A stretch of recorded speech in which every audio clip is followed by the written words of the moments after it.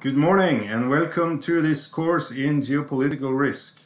My name is Jo Jakobsen. I'm professor in political science at NTNU and I will guide you or try my best to guide you successfully, uh, hopefully, uh, through this lecture series uh, in geopolitical risk.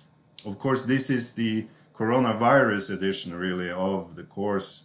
Um, I had to volunteer, I felt I had to volunteer to do it digitally due to the uh, limitations on, on group size and limitations in terms of space at, at the university. now, uh, I will get back in this lecture to some of the formalities, some of the things that have changed due to the special circumstances. Um, but I'll try first, or I'll, I'll first I'll, I'll uh, deal with um, the course topic itself, what is geopolitical risk? Um, so this is basically an introductory lecture where I'll kind of ease all of us through the basics. Um, at the same time and at the end of the lecture I'll, I'll uh, deal with some of these formalities. I'll also provide plenty of examples of geopolitical risk events uh, in this lecture.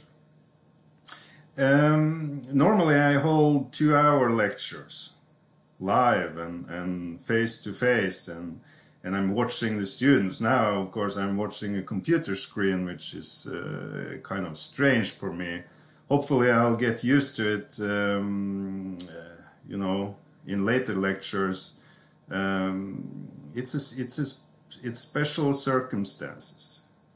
Um, anyway, normally I hold two-hour lectures. I think I'll kind of um, chop this first lecture uh, into several smaller pieces, shorter pieces. Um, but anyway, another thing is that the lectures will be in English due to you know, this course being offered also to exchange students. Uh, there are fewer of them this year due again to, to the special circumstances. Um, but there are a small handful and so we'll proceed in English and we'll um, the written information is in English and, and etc. Okay. Now I'll show a PowerPoint, which I will also post on, uh, on Blackboard, which is the program we use um, in addition to Panopto, which is the program that record, uh, records my lectures.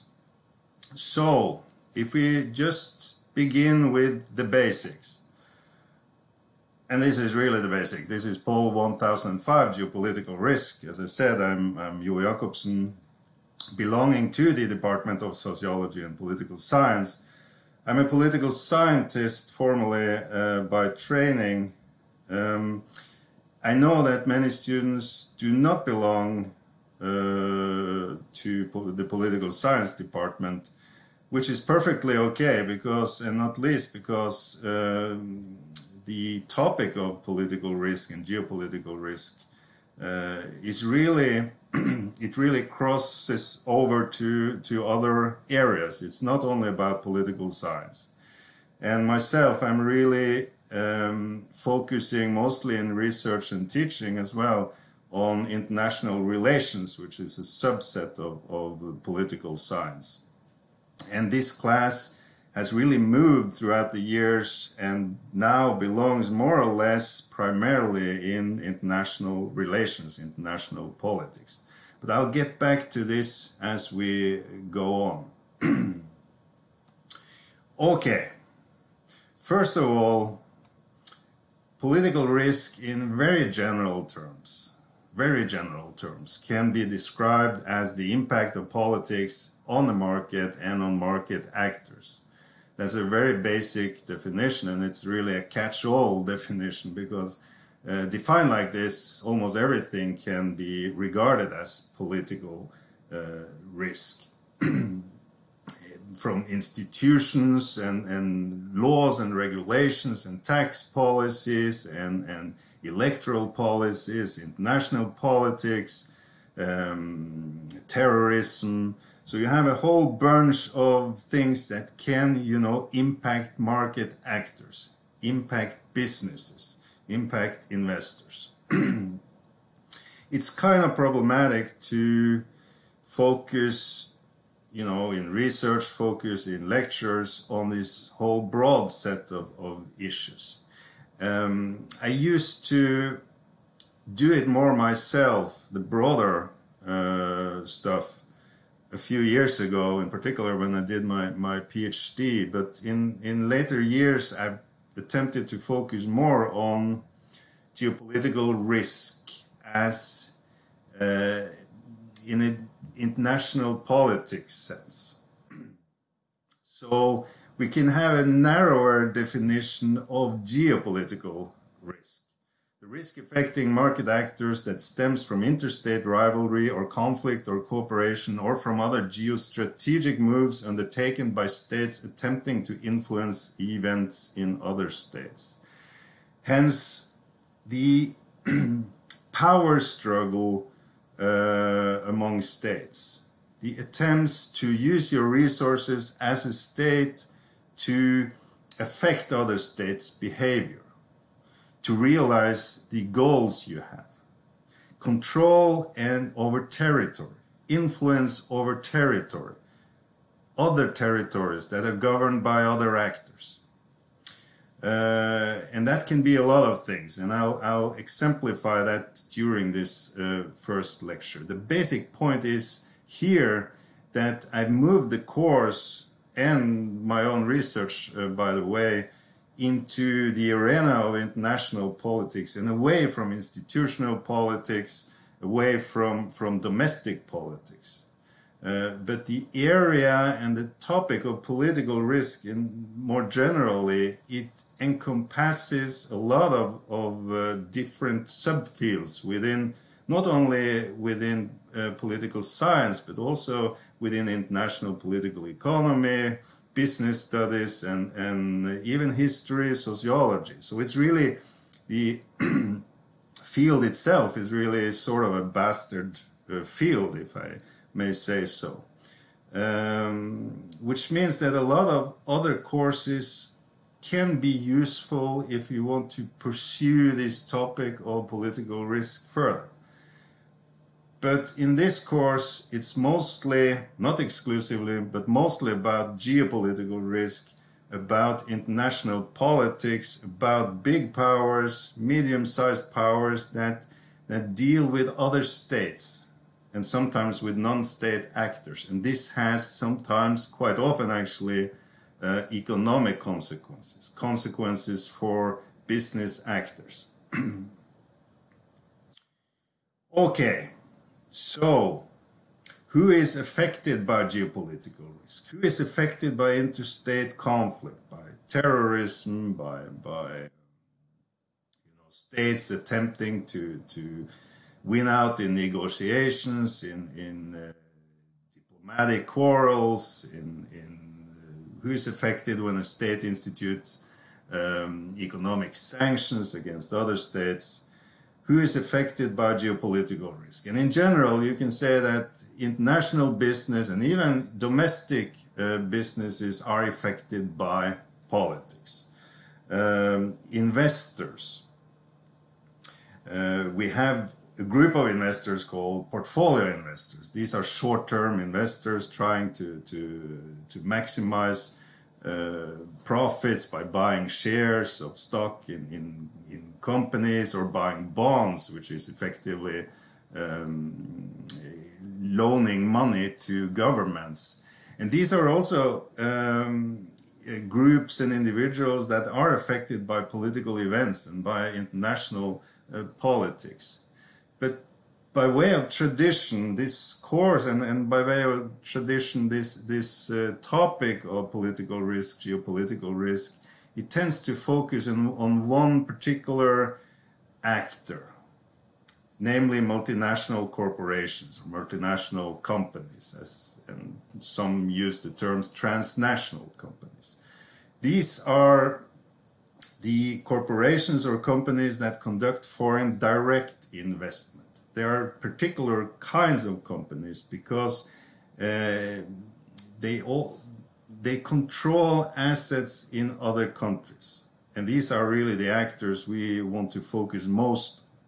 They deal with um, in business abroad, across borders, and you have some 195 uh, sovereign states and over 200 what we call um, national economies um, throughout the world. And you have a lot of trade, a lot of investment across borders. If you establish a firm in Norway and you export some good to other countries, that doesn't make you automatically a multinational company. So formally, you know, technically the uh, definition of a multinational company is if you have a headquarter in one country and you establish a physical presence, an office, or build a plant, or have some direct activity ab abroad. And that me also means that when you're directly present in another country, um, you are affected by some peculiar and some special forces linked to you know domestic politics linked to the diplomatic relations between the country you invest in and other countries etc but you control a subsidiary or affiliate in another country. That's your business abroad. Um, so basically if you have business in more than one country you're a multinational company. And these MNCs or multinational corporations, they normally also have a long-term perspective, which has some, you know, special consequences for uh, the way they can operate and the way they perceive risk. Long-term perspective, because if you build something in another country, if you build a plant, if you if you try to extract oil, you build large oil platforms, um, then you don't get your money back. You don't make a profit this year or the next year. Oil firms, for instance. Uh, when you deal with oil exploration, extraction, production, you think in, in terms of 15 years, 20 years, 25 years. And that means that you're, uh, you're likely to experience a lot of different issues uh, over that period before you can recoup your your investment. You think long term and if something dramatic negative happens you know in the next year or in 5 years you basically lose money. So investors multinational corporations that deal with foreign direct investment they tend to be more sensitive to a lot of political changes because they can't withdraw uh, after a year. Portfolio or short-term investors, they can withdraw. Uh, if you buy, if you sit in your couch and you can you click on your computer and you can buy shares of stock in some company in another part of the world, if something dramatic politically happens uh, and you stand to lose from that investment, you can click on your mouse on your computer again and you can withdraw your funds because you haven't established a physical presence. Um, in that sense, it's more challenging, much more challenging often for a lot of these multinational companies. Uh, and that's really the, the issue here, the mix, the interface between politics, international politics in particular, and these businesses with a long-term perspective. Um, and historically, uh, these businesses have often experience political trouble. So that's really some of the essence of this course. Also down here, uh, what is characteristic in particular for the last few years or last couple of decades is that these companies have built up really complex supply chains. And that increases the sensitivity of a lot of firms to to risk, to politics. And we have seen this quite clearly in the last year, last, you know, 18 months perhaps, um, not least with the trade conflict between, in particular, China and the US. Uh, the institution of tariffs, and I'll get back to this example later in, in more detail. The institution of tariffs, which is really a tax on foreign trade, uh, that impacts a lot of firms, a lot of multinational corporations, a lot of domestic uh, corporations as, as well.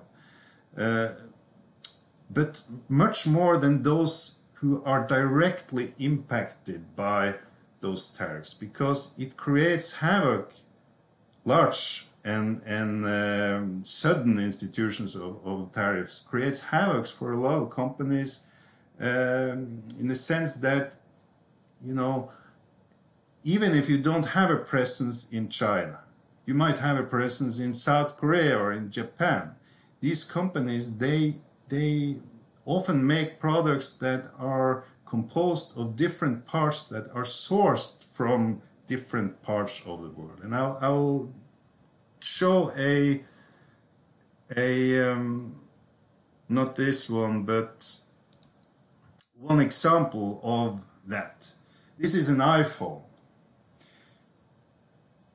The mobile phone and the different components of that mobile phone are sourced from different parts of the world Japan, South Korea, US, uh, China, Switzerland, Germany. Uh, and if one or two of these countries engage in some diplomatic quarrels, conflicts, and a trade conflict, and it's enough that one or two of these um, are engaged in such a conflict, then it impacts a lot of these firms that source their their um, source products from different parts of the world. And that we have seen quite clearly in uh, the recent trade conflict and still ongoing trade conflict between the US and China, that a lot of companies are affected. Not all of them dramatically. It's not that they go bust, all of these companies. Uh, but in this sense, international business is more complex than it used to be. Geopolitical risk is more complex than it used to be. It used to be, in a way, easier uh, when you dealt with political risk issues in, in the 1970s, early 1970s, it was all about ideology, the Cold War. It was all about different economic models followed by different uh, countries. And you had a lot of what we refer to as nationalizations, expropriations, governments taking over your business because that's what their ideology uh, commands or that's what the Cold War commands, uh, or that's um, what their economic preferred economic model commands. But it was less of this, you know, complex supply chains where things are sourced from different parts of the world, and they're they're um, and it's a good reason why it's it's often very efficient for companies to do it like that, as long as the investment environment is stable and that's some of the key to recent events and probable um, future events and developments as well. That the stability that, that international business has gotten used to uh, in later decades, in particular since, since the end of the Cold War, that has kind of not disappeared, but it's become far less stable and far less predictable. So that will be some of the stuff I'm going to, to talk about in this course. Okay, at the bottom here, it's also of note that multinational corporations engage in a lot of this export and, and import. Um, so most, by far most of, of international trade, trade across borders, exports across borders, by far uh, the larger part of that totality is conducted by multinational corporations. Uh, so they're key. They're the the the fundamental key to uh, international trade. They're the fundamental key, actually, to world prosperity. Uh, without trade, for instance, we'd all be poor because no country can produce uh, everything that country needs. There's a lot of international trade going on, and it's absolutely necessary. Every country is dependent upon that. Even North Korea, even though that's the most secluded uh, probably country country in the world, they depend on imports. They need oil, and then they need to export things to get the oil, or to get other stuff that the country need, that every country needs, uh, and then they have to export something. Otherwise, you can't import. It has to balance uh, balance out. So North Korea has to specialize in something, like weapons production, missile production, um, and similar things. So multinational corporations are responsible, I think it is, for about 80% of international trade, which is which uh, is a lot. Uh, and also part a big part of that trade is conducted within corporations which is called intra mnc trade or in, intra company trade. You don't sell and buy things you know um, to other companies. It's within your own subsidiaries or affiliates um, but the basic point is that these are important actors these are large actors they have um, to a certain extent power in particular when when they deal with smaller countries that are often dependent upon um, the influx of foreign capital. Because foreign capital can create jobs. Uh, they can ease the finances of the country in question so that's another point in this whole geopolitical risk story that that uh, it's often a lot of cooperation, of course, between multinationals and uh, what we what we call host states, those that invite multinationals in. But there's also a lot of conflict. Um, but we can't cover everything in, in this course. Anyway, just to continue a bit with you know, multinationals, corpor uh, multinational corporations, FDI, which is foreign direct investment. Um, we can ask, what are the motives for FDI? What are the motives for FDI? I don't expect you to answer that because you're not present. Um, but basically, to simplify, multinationals have, they're present in other countries due to three different uh, factors. One is natural resources. So you have natural resource motivated FDI or foreign direct investment. Uh, if you're an oil company, you have to go abroad. So Equinor, the Norwegian oil company, they have really no choice, or they had no choice when you know the the company became too big um, the oil resources in Norway was expected to, to dwindle. Um, and the company, which used to be called Statoil, they decided, I think it was in, in the early 1990s, that we need to go abroad. We will survive and we will prosper and grow as a company. We go abroad to where the resource resources are found. So they went to Azerbaijan first uh, started in, in a joint venture, a cooperation with British Petroleum in Azerbaijan. And then they went to Angola and to Venezuela and to, to Nigeria and to all these countries that have often political complexities and challenges. But Equinor, which has grown even further, they're still present. Sometimes they experience big trouble, and we'll talk about a case uh, later in this lecture. The big terrorist attack that, that uh, happened and affected Equinor um, in Algeria a few years ago. And they have other you know, experienced a lot of other trouble, which I will also briefly mention throughout the, the lecture series. If you want to explore for natural gas, it's the same. You have to go to the Middle East or to Russia or to, to some place where it's present. If, if, um, if you want to extract copper, you have to go to Chile or to Mongolia or to some place where that natural resource is. If you're an aluminium company, like Hydro, Norway is a big uh, aluminium uh, country, um, really due to the energy resources, the natural, the, the, the, waterfalls and the rivers, and which which creates cheap energy because aluminium is is uh, is um, dependent upon really a lot of of um, energy and, and preferably cheap energy. But Norsk Hydro or Norway doesn't have the natural resource that can be used in the in the last instance to make aluminium. For that you need bauxite which is this dirty black um, uh, stuff that that uh, eventually is refined and then turned into aluminium.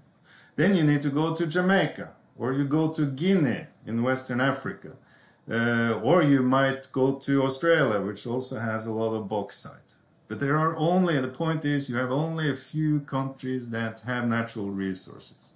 If you need cobalt, which is used to make these, you know, um, some stuff in mobile phones, and you, it's used to to make batteries for electrical cars.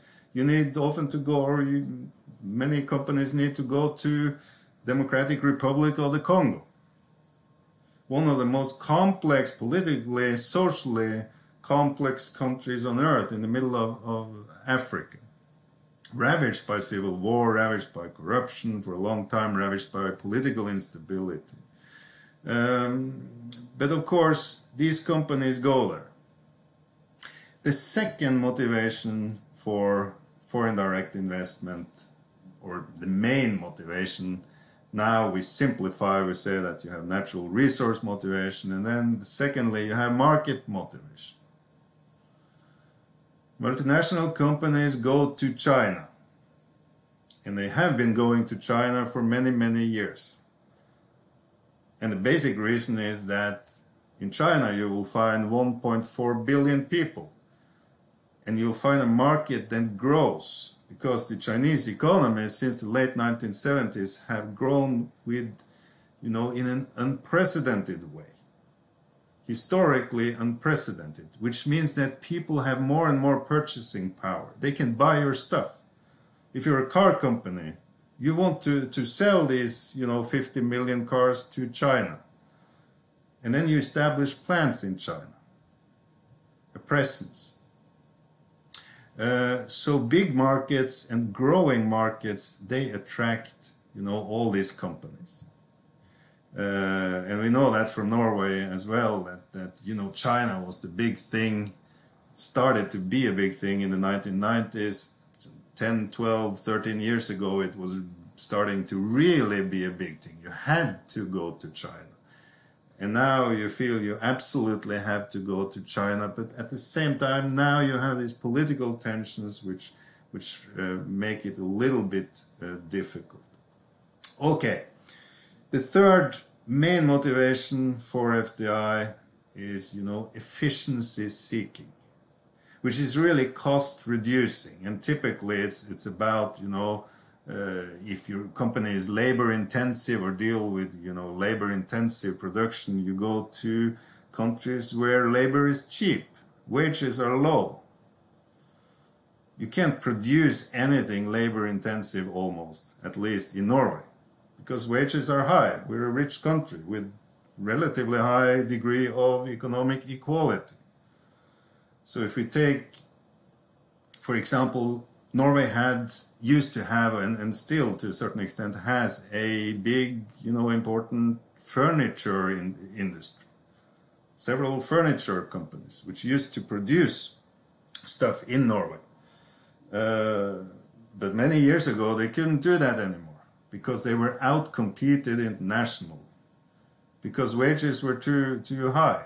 It takes a lot of hands, a lot of labor to to make this furniture. So so they uh, established plants in Lithuania, in Estonia, Latvia, Poland, countries that were either in already in the EU, European Union, or were about to enter into the EU, which meant that you know if you if you establish production in these countries, you don't have to to pay tariffs um, to sell your goods in other EU countries at the same time as wage the wage level in Estonia, Latvia, Lithuania, and Poland and other countries as well, in particular in Eastern Europe, if we talk about the European context. Uh, you get access to the EU market and you get low wages. They had to do that, otherwise, they would be outcompeted in a competitive international marketplace and competitive international um, environment. Um, and of course, you know, other countries, other companies, clothing companies, they go to Southeast Asia, they go to Indonesia, Cambodia, Bangladesh to, to produce because they need a lot of labor.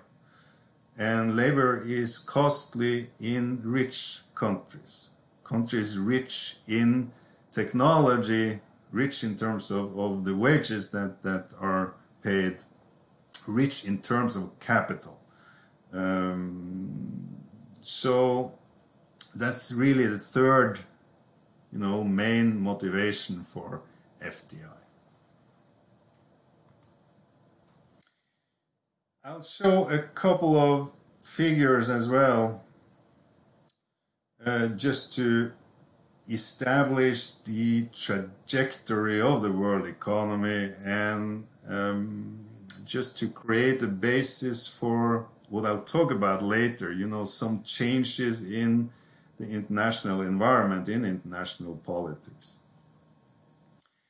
The first figure is about, uh, it concerns world FDI stock and world merchandise exports, 1990 2019 and the numbers are not really uh, the absolute numbers are not really that important but it's about if we look at the upper here it's 40 trillion it is 40 trillion US dollars worth of foreign direct investment stock or almost that in 2019 40 trillion US dollars. Um, World FDI stock, just to explain that, foreign direct investment, the total value of everything that foreign companies own in other countries.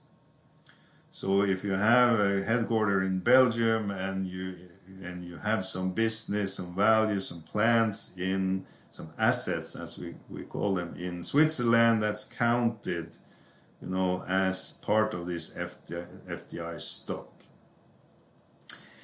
to a certain extent, it's accumulated assets abroad. Um, and the point here is really the shape of the graph, because if we go down here to 1990, and that's basically the end of the Cold War, and on Christmas Day 1992, the Soviet Union was, was history dissolved.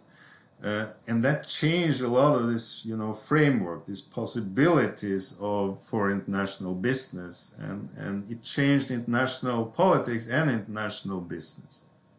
Opportunities became greater, uh, and the Western countries could really devise and shape um, a world order. They could shape the rules of the game not only in politics but also in international business that created a really strong level or high level of stability and opportunity and stable rules. And I'll get back to some of these, you know, changes later in, in, in the lecture series, what has changed in, in international politics. But to, to take the short story, uh, short version of the story, uh, during the Cold War from, from about, you know, 1946, 47 and until the late 80s and early 90s, it was really two world orders, two, you know, big camps one bigger than the other though, uh, led by respectively the United States and the Soviet Union. And these devised their own, uh, they had their own preferences with regards to how uh, the international economy should be governed. You had the capitalist model of the US basically, and you had the anti-capitalist model of the Soviet Union. And due to you know several developments, economic and political developments and military developments, the Soviet Union ran into a lot of trouble, and the Cold War ended without a bang. It ended relatively peacefully. And one might say that the US and the West won. And then you had this period of stability or relative stability, which is kind of unfair to all these, you know, countries and, and you had the, the countries um, which which used to be to be um, in Yugoslavia you had the Yugoslav wars and, and you had a lot of, of, of uh, wars in that period and a lot of civil wars. So so um, but basically the rules of the game how what is how should the the international e economy be structured? Uh, what should be the rules, the economic institutions, these things were stable. And, and this framework, international political and international economic framework, was shaped by the biggest and strongest countries in the world. And these biggest and strongest countries were the US and then the US friends and allies. So that made for a relatively stable period of growth in foreign direct investment and also growth in the exports and imports of goods, international trade, world merchandise exports, which has kind of flattened out uh, lately. Uh, but the basic point is that the post-Cold War period was a period which was very beneficial for multinational companies, international businesses. And that is a period that is about to change. The direction is changing, and and that we will we will uh, talk about a lot in these lectures. What has changed? Why has it changed? Can we expect, you know, a reversal or a flattening out of these trends, or can we expect international trade and investment or globalization, economic globalization, to use this um, other term, can we expect this to rise and rise and rise? Can we expect this blue thing here to rise and rise and rise? Um, so we'll return to that as well later. Okay, and yet another graph, and this is um, this shows FDI flows between 2014 2019 by region or group of countries. So you have the, uh, and I use the UN um, grouping of, of countries, developed economies is the blue one here. Uh, really high numbers of, of, flows, and these include the uh, most European countries, EU countries, uh, Norway, uh, the US, Canada, it includes uh, Japan, a developed economy, Australia, New Zealand, and, and, and um, basically the, the richest countries, or most of, of the richest countries. FDI flows is another term. So I showed you the last slide, FDI stocks. FDI stocks is the accumulated value basically of, of all that has been invested by multinational companies abroad. Um, and then you subtract some, you know, devaluation of the assets you own because they, as the years pass by, they become less and less valuable often. Uh, but it's basically accumulated foreign direct investment. Flows, on the other hand, FDI flows, it counts the, the measure counts the new investment that is conducted in a given year. So flows are uh, then normally lower than stocks because stocks are accumulated FDI flows basically. Anyway, those who have received most FDI in that period is, you know, those are the rich countries. um, and the rich, you know, the developed economies. And then you have the Asian countries, including China, which is kind of, you know, less. And then you go down to Latin American and the Caribbean. And then we know that Africa, which is the red one, uh, has never attracted big absolute amounts of foreign direct investment. For specific reasons, and political risk is, is uh, one of them, lack of, of fully developed markets is another I think the basic point here, and it's not only about FDI, it's about exports, it's about imports, it's about GDP or gross uh, domestic product, it's about the strength of the economies. Um, and what has long been the case, and even if you go 200 years back, um, because then you had this this um, before that, before the early eight, uh, 1800s, there were a relatively a relatively high degree of economic equality among nations. So the European nations, for instance, were not really that much richer than the Asian nations or African nations, for, for that matter. Uh, and then things changed. You had the Industrial Revolution, part one, part two, uh, and you had the first phase of globalization uh, over 100 uh, years ago, late 1800s, early 1900s. And they took off, the Western economies. And they're, they're still, you know, among the biggest, the European economy, the EU accounts for almost a quarter of, of total the value of total production of goods and services in the world. The US accounts for almost another quarter. But then you have the growth of Asia, which is kind of the big, and in particular China, which is kind of a big, um, the big story in international politics and international political economy, international economy.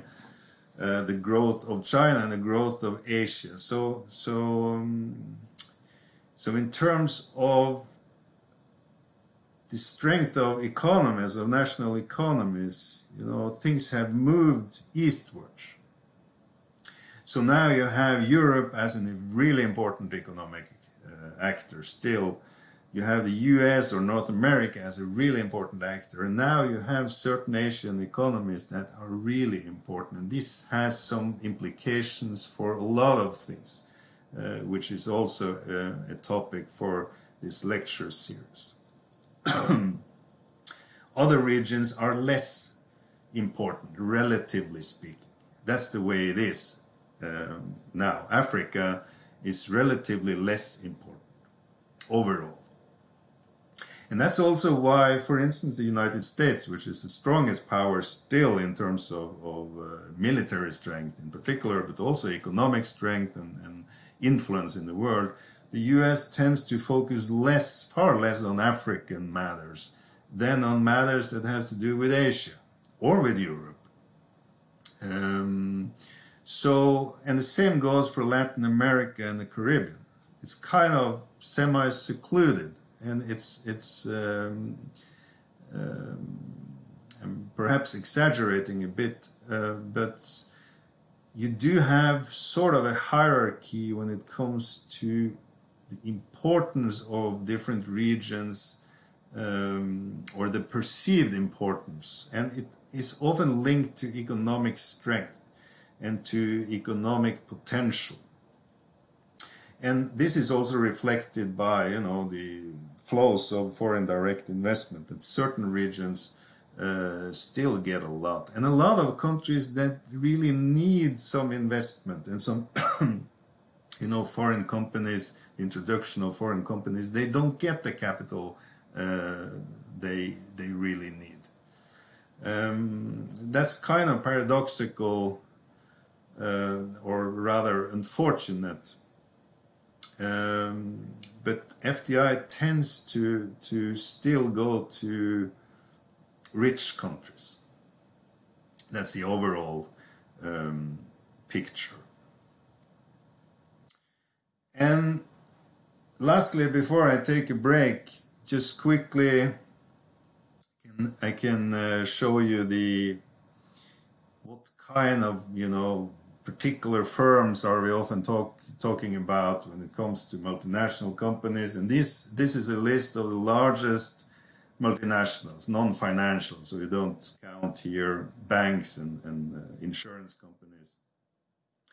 And this is measured by uh, the amount of, of their value of foreign assets, what they own, the value of what they own abroad, uh, measured in million US uh, dollars. So, so that's, for instance, 343 billion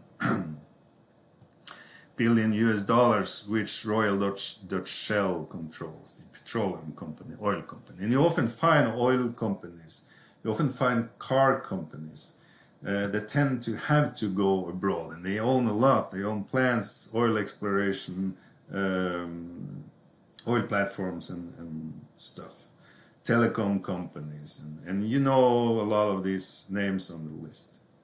But these are not the only ones, far from it. And, and you have tens of thousands of, of multinational companies, big and small, around the world.